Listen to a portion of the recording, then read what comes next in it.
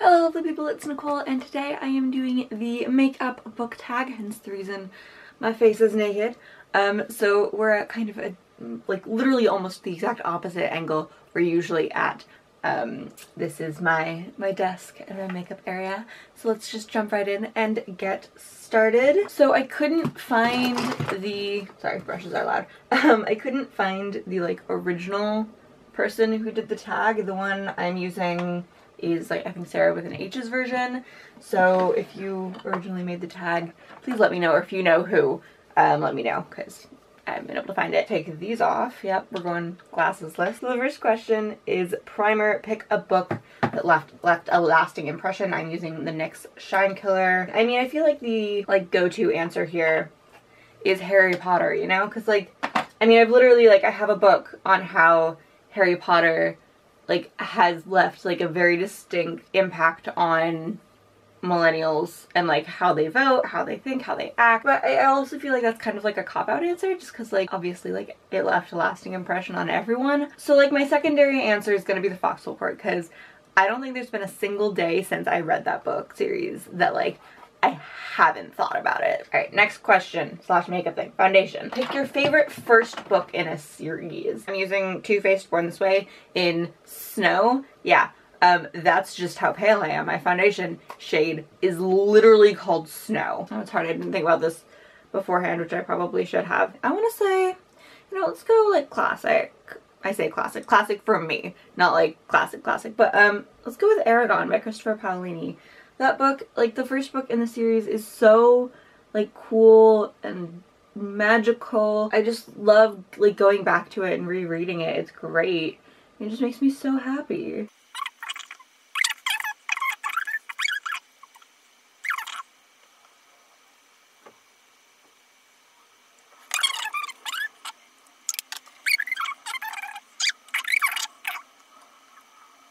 Uh, if you're wondering, this mirror, it says As Travars on it. I got it from Alcray a few months back. And it's a reference to V.E. Schwab's Shades of Magic series. Ooh, Shades of Magic, actually. That's a more recent um, good first book in a series. I love that series. And that's one of those series that like the first book is amazing and like the books only get better as you go on. Okay, we're gonna call that good for foundation. Concealer. Pick a character you wish you could get rid of. I feel like just straight up picking like a villain is cheating, but like Rico Moriyama can die in a hole. It's from the Foxhole Court slash All for the Game series by Nora Sakavic. But like, I hate him so much. I've like never hated a villain more than I hate Rico. I don't know. Zara Dearborn. I'm using NARS concealer in light 2 vanilla, which like is probably a bit darker than it should be. Like if I could get the like light one, but like this is what Sephora had by the cash register, so.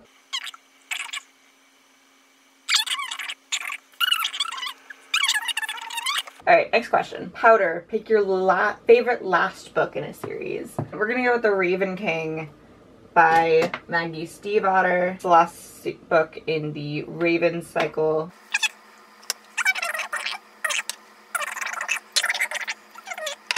I'm using the Coty Airspun, which is like quality-wise great. I will say that if you're sensitive to scents, it is like so unbelievably perfumey. So that's, you know, a drawback.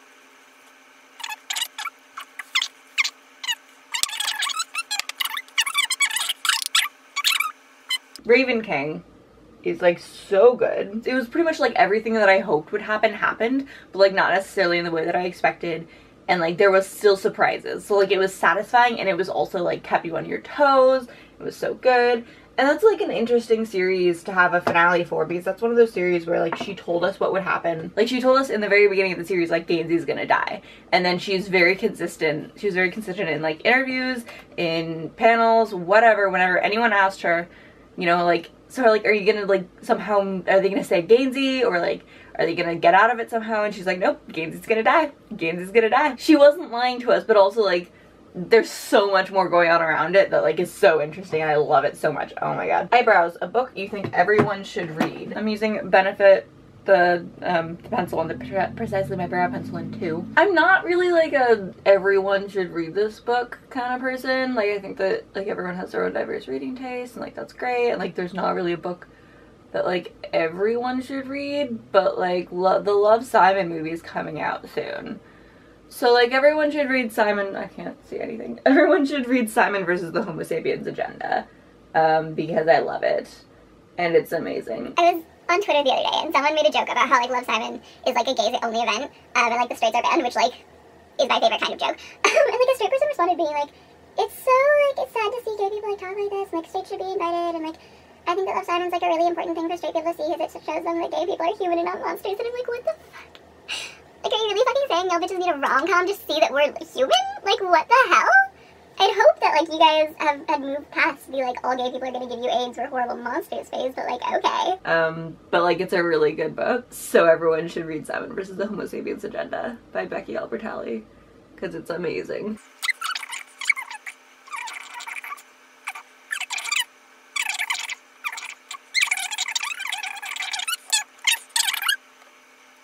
Okay, those aren't perfect. But like my brows are never perfect and like that's Another advantage of wearing glasses is that no one can tell when your brows aren't perfect. Eyeshadow, a book that has your favorite colors on the cover. So for this one, um, I'm gonna like show you and then like move on to my eyeshadow and talk about it. But I'm gonna go with the uh, Gods of Asgard by Rick Riordan. It has a lot of colors on the cover and like it has like the teals I like and the dark blues I like. Magnus Chase and the Gods of Asgard, Ship of the Dead by Rick Riordan. Very pretty cover. So for eyeshadow, I'm using the Morphe Jaclyn Hill palette, which like I just got literally yesterday, so I haven't had a chance to play with it. But look how pretty it is!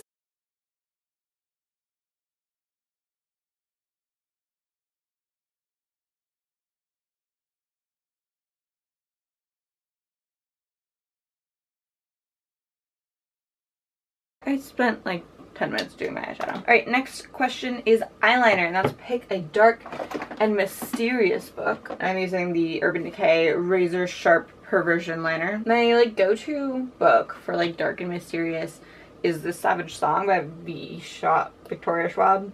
I don't know, it's confusing. She writes under V. Schwab for adult books and Victoria Schwab for YA, but like The Savage Song is YA in America and adult in UK, so like it's confusing, but it's like super dark.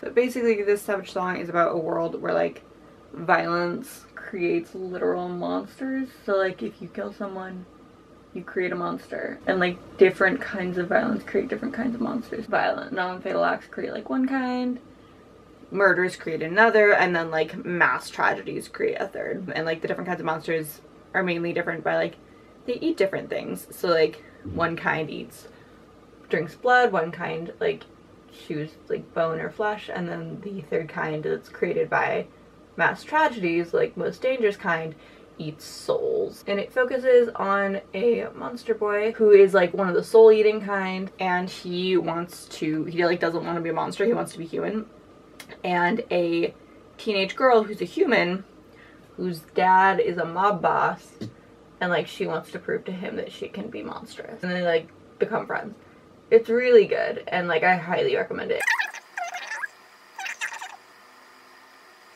I never get my eyeliner perfect. I envy people who do. Mascara pick a long book. Let's go with lady midnight or um lord of shadows we're gonna go with Lord of Shadows because I love it so much. This is uh, the matching mascara to the eyeliner. This is Urban Decay Perversion.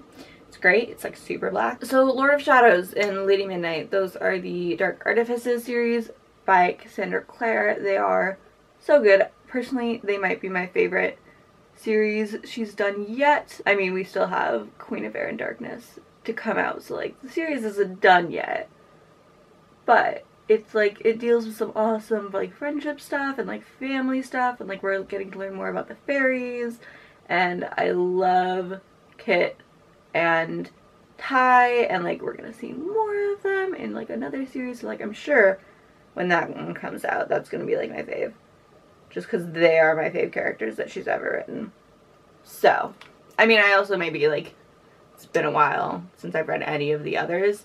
Um, which Emma Books is hosting a Cassandra Clare read along this year that y'all should participate in. Um, she made a video about it. She also, like, there's a Facebook group that you can join if you like talking about shadow hunters. Um, it's called the Dreg Society.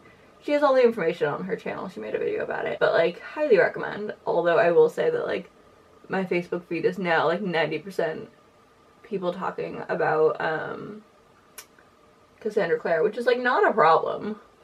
I don't mind it, really. Next up is Blush. Pick a book with a cringe-worthy romance. Cringe-worthy romance. I'm using the Tarte Party. There's seriously like three A's in this party. Cringe-worthy romance. I don't know. I'm usually like a big fan of romance. There aren't very many books that like I hated the romance for. I mean like I don't really see why there needed to be a romance in the Hunger Games. For a lot of dystopians, I don't really see why there needs to be a romance. Cause like you're like trying to save your life and like stay alive. Why are you like stopping to make out? I mean like obviously there's like the cringeworthy romance in um like Twilight and like I'm very done with love triangles at this point unless they're done like really well. There's not a thing for contour or bronzer on here so I'm just gonna keep talking about cringeworthy romances. Um, the romance between Emma and what's his name, the main character, in uh, Miss Peregrine's Home for Peculiar Children is a little like weird just because like you're dating your grandfather's ex-girlfriend? Kinda yikes but like you do you.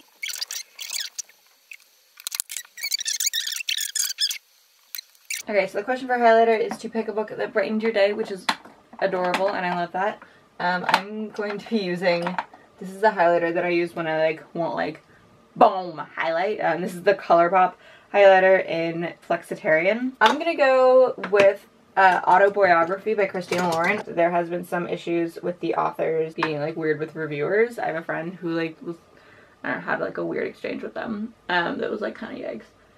But I was in, the other day I was in like kind of a weird reading mood, like I don't know, I've been trying to read Tahereh Mafi's latest book for like a while now and it just like hasn't been clicking with me and so I wanted something like light and fluffy. And so I picked up um, The Dangerous Art of Fitting In, or of Blending In.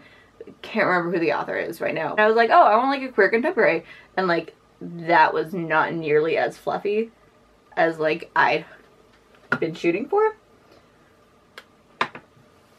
So, it, I mean, like, it's a good book, but it's like a lot of like discussion of like abuse and like homophobia. And then I was like, God damn it, that's like not nearly as, you know, that's not what I was wanting. Um, good book, but like, you know, not what I was hoping for. Then I went and I picked up Autoboyography and like, again, it's like not quite as fluffy as I was aiming for, but like a lot fluffier than the other one and I really enjoyed it. It was like the romance was cute and like there was some good discussion of religion in there. I'm like not normally a fan of discussions of religion in my books, uh, just because like I am not a religious person and like I have weird emotions about religion and like I just it just like makes me uncomfortable.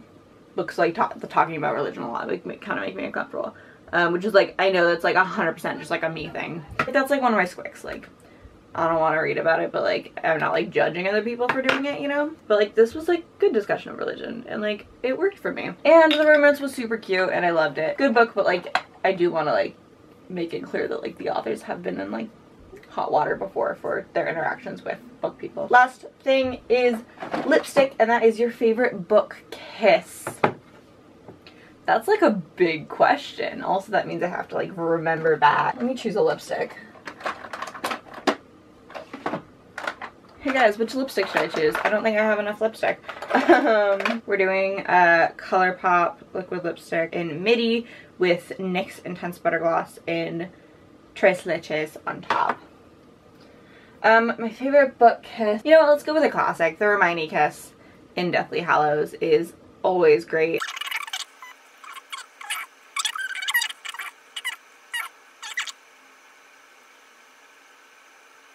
The kiss, it's just like, it's a classic and it's not, it had been built up over like so many books and like the whole should Hermione be with Ron or with Harry thing was like not the point of what we were supposed to be paying attention to in the books, but like it's what everyone talked about.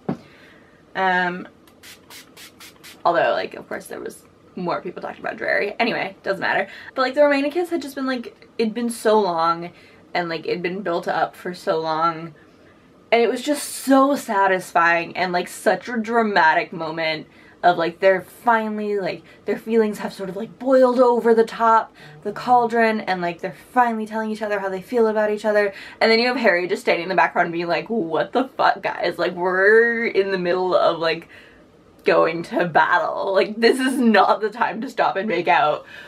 So it had like the perfect balance of dramatic love emotion and then also like humor so just quality kiss all around